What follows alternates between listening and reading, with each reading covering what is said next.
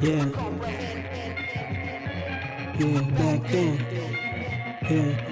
I guess back then I didn't comprehend. Yo, let's get one thing straight before I even begin. I'm writing this song in hopes that you look within and try to understand what it means to be a black man. Or a black woman in a strange land where you not even wanted, cause you not even from it. Where you not even worth a couple hundreds. Even though you've been here for millennia, as soon as you reach the summit, they push the ladder from underneath you and watch you plummet. Now, listen closely and learn from it, cause what I'm rhyming is worth much more than I ever make from it. God damn, we deserve much better. Like Malcolm deserved Betty and Martin deserved Coretta. Like the Prophet and Khadija, like a people and the leader. Like warriors and Safidas, Nubians and Bejas. Like the Zulu people needed Chaka, he gladly died for their freedom. Yeah, he gladly died for their freedom. Yeah, he gladly died for their freedom. He gladly died for their freedom. Yeah, he gladly died for their freedom.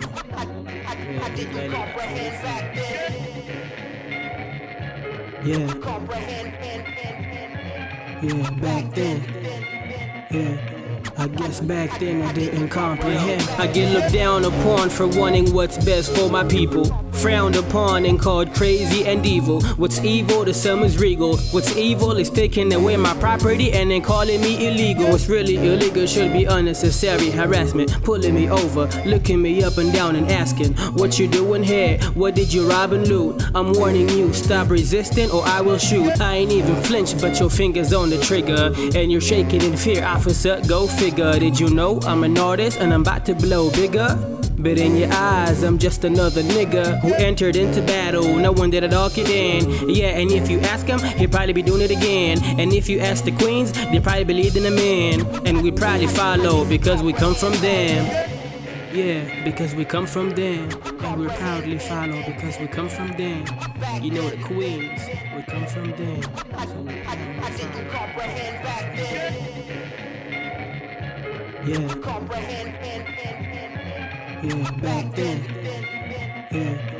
I guess back then I didn't comprehend. Yo, this the reality we live in, entirely made of rumors. Give us a false heaven, watch it slowly consume us. Stupidly smiling while it takes over us like tumors. Not too long ago we wasn't even considered humans, and still to this day we continue wearing the scars. Some of us hiding better than others. Wars always been a part of our lives.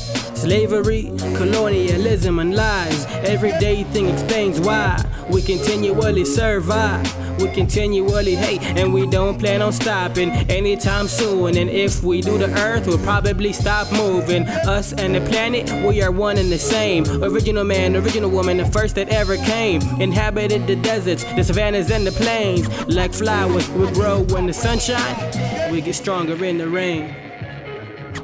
Yeah, we get stronger in the rain, like flowers.